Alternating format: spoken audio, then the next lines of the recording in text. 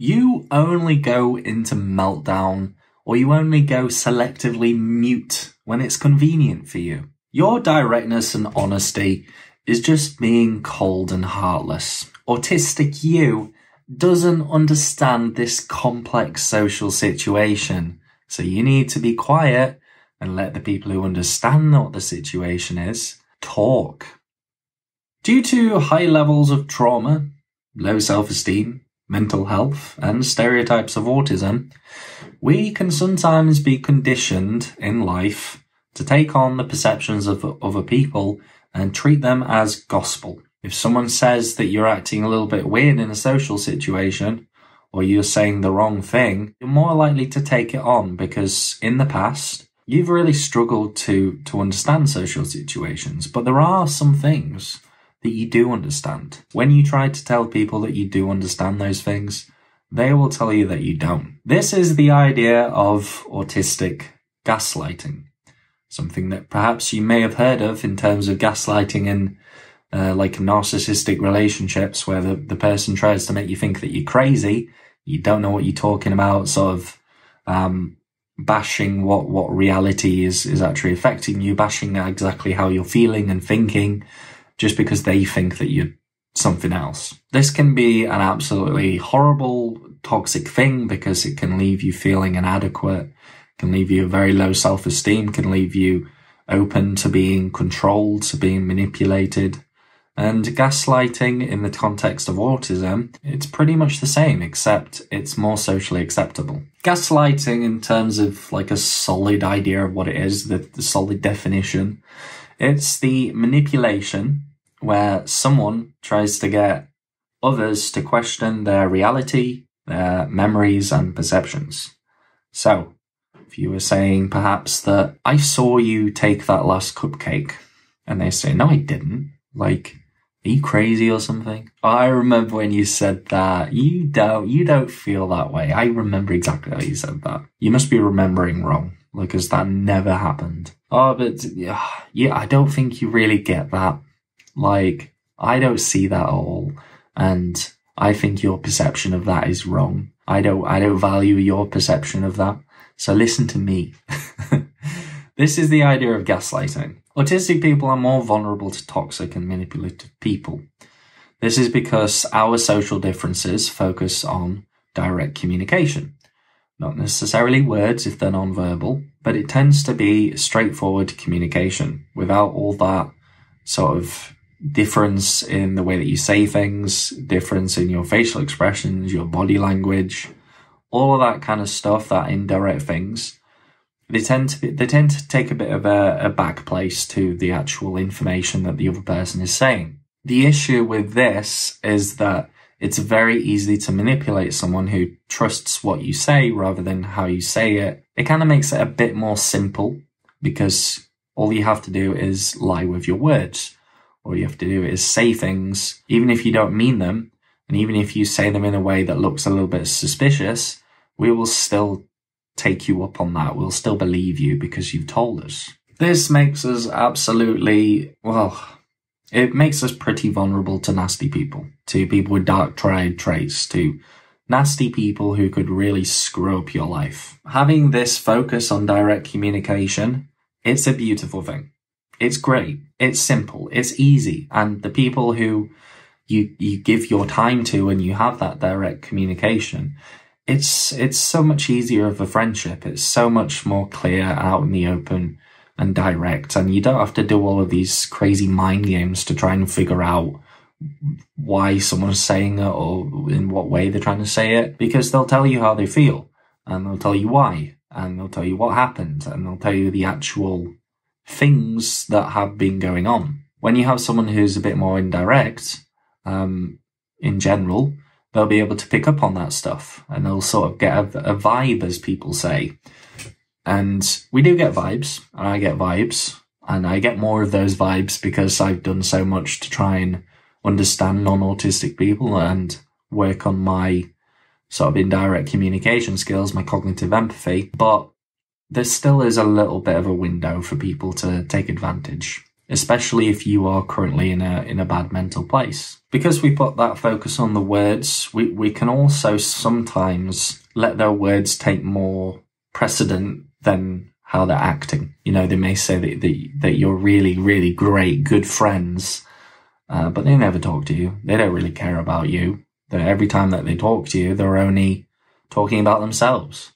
They're only trying to get attention from you. You know, it's it's a little bit more tamer the situation um, because I don't really want to go into like some really complex, perhaps unfriendly thing to the YouTube algorithm. So this means that we easily brush off these signals of of manipulation or deceit, even if we can see them. We, we exist and we communicate with the world in our own way, and sometimes it's more comfortable to go with that, and sometimes we expect other people to feel the same way but a lot of people don't. I suppose this video could be kind of split up into two areas. You know, someone that you don't really know, someone that you kind of loose friends with says something about, about you in, in, in context of the group. Maybe you have an opinion and they know that you're autistic and so they, they kind of gaslight you to thinking that you don't understand or that your way of thinking about the situation is inferior to the way that they do just going by the fact that you are on the autism spectrum. The other side of that would be more intimate relationships,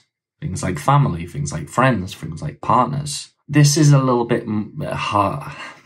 It can be a lot more difficult. You know, the other situation may be encompassing more of kind of like a, a, a bullying dynamic.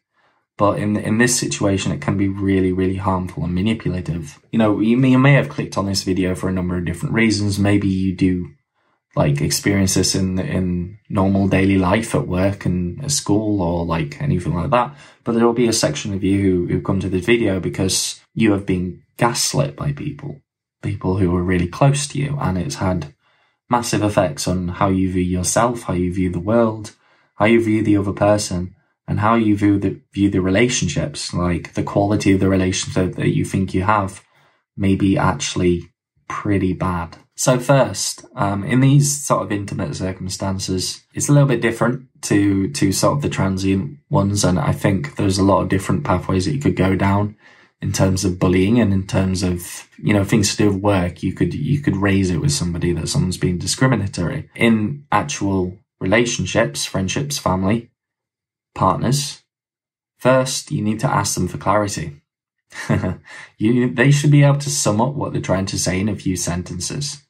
And if you if you are in, in, in some sort of friendship relationship, familial relationship, and you ask them for clarity, and they just never never ever seem to get to the point. They may use this thing called word salads, which is basically just a combination of different words, accusations, feelings that they have, all mashed up into one sentence that really detracts from what you're actually trying to ask them. And for autistic people, this can be really damaging because it can make us feel like we don't understand things because it takes advantage of our lower processing times.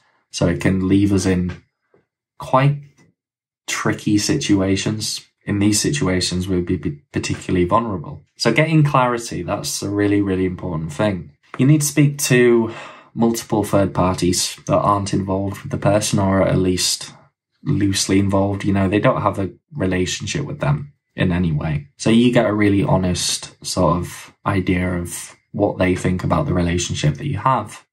Um, just make sure to include both sides. And uh, if if there are some things that you're not doing the best in that relationship, then say them, um, because that usually gives them a little bit more confidence that you're actually speaking to them for advice rather than asking them for emotional reassurance. Another thing is write down your experiences.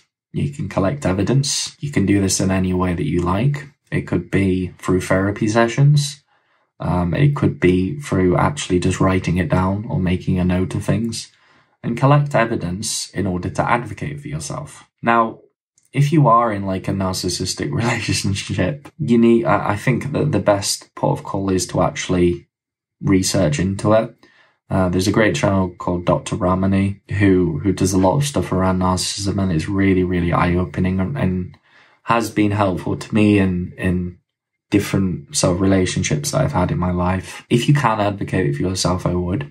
If it doesn't work, I think the best idea is to go to one of these channels, learn what, what the things do and try and transition out of that relationship. If you feel at all like you are at the threat of physical violence, if you feel like you just can't do it for the life of you, then maybe you need to get some professionals involved. Maybe you need a mediator. Maybe you need to call the police if it's a really, really bad situation.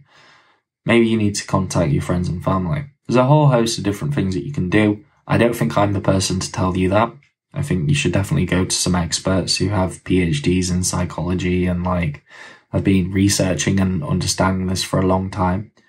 But I think th- this can kind of give you a good framework because if, if you've tried these things and you've advocated for yourself and you've tried to get to the bottom of what they're trying to say and you just come up short every single time and you just don't seem to be able to exit the situation, those people can be really helpful. So you can call, you, you know, you can call them out for their manipulation if you want. They're never going to admit it if they're horrible people. It's just the nature of, of, of toxicity. You know, they're not, they're not going to take, take, um, responsibility for their actions and behaviors and the words and, you know, the, all the, the, the autistic gaslighting. You can assert your space to process co- complex situations. This is more, more along the lines of autism because it can be really hard, even if you have a set script to go by to actually function in these situations, especially when you're being hit by word salads, especially when you're being hit by um, lots of different things and lot, lots of gaslighting about things that never happened and things that ways that, that they interpreted that there was completely right and your, your ways were wrong. It's, it can be such a messy, complex situation. So being able to have an out is very important. So maybe do it in public. Mold your day around so that you don't always have to be in their vicinity and you can actually get out there. You can go to the gym or you can exercise or, you know, you can do all of those kind of things. And the last thing is if, if they don't change and they continue to gaslight you and make you feel horrible for being autistic, make you feel uh, just horrible in general, then you need to leave. Uh, it's not safe for you, safe for you for your own sanity. There may be situations where you are legally tied to somebody or situations where it's very, very difficult to cut them out of your life. Um, but there are other strategies that you can use, things like grey rocking, um, th- things of that nature that you can look up definitely on one of the more specialized channels. As I said, when in doubt, contact a professional or the police if needed. I can offer my own personal advice based on what I've experienced in life, different different individuals, uh, but I'm not a licensed professional. I, I'm, I'm, I don't want you to follow my advice to the T. I want this to be the ignition for you to research more into it and take information from from people who are, are well versed in the in the idea of toxic people, and maybe add in the stuff that I've been telling you that's perhaps a little bit more autism specific. But I hope this video has been an eye opener, and I hope this video has helped you. And I truly hope that you are doing well, whatever situation you are in. And I'll see you in another episode on the Thomas Henley YouTube channel. See you later, folks.